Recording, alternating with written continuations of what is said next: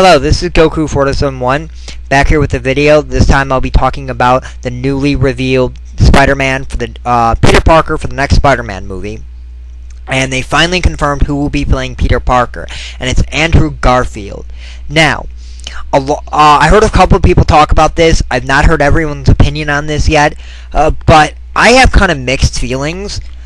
First of all, is I don't know if I, he looks a little old to me, but when I thought about it, I think that they kind of did a good idea with it and kind of a bad idea.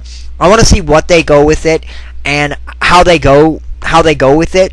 Like one person mentioned, um, uh, so far they like who they cast as Peter Parker, but they want to see who they cast as Mary Jane. Well, I agree with that. I do want to see who they cast uh, as the leading female role because they cast the Mary Jane. That's gonna piss me off. I want Gwen Stacy. I do not want Mary Jane. But getting back to Peter Parker, I do think he is a little.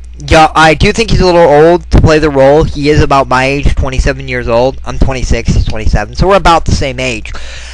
But I think he does look a little young, and I think he's got longevity. Instead of a kid, he's going to be able to be there for a little longer. So I think he quite literally can play the role, and I can't wait to see the story and the villains who's going to be in the film.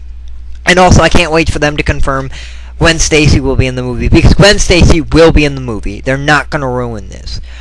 I'm not going to talk about who I want to see in the movie as villains or any storyline or anything like that because this is not about that. I've already done a video. I will do a video response to that video so you can see that video if you want to because I do talk in depth about who I want to see in this movie and more details about it.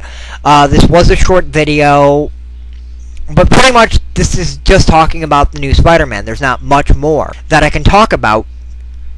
So please leave me a comment or a video response uh, telling me what you guys think about it, and if you think he's a good choice, bad choice, what you don't like about it, and ultimately, and if you have ideas for who can play Gwen Stacy, because if you leave me a comment about who can play Mary Jane, I'm not going to spam it, I won't be a jerk, but I don't want Mary Jane.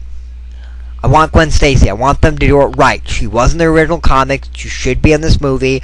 So yeah, this was Goku 471. See you next time, YouTube.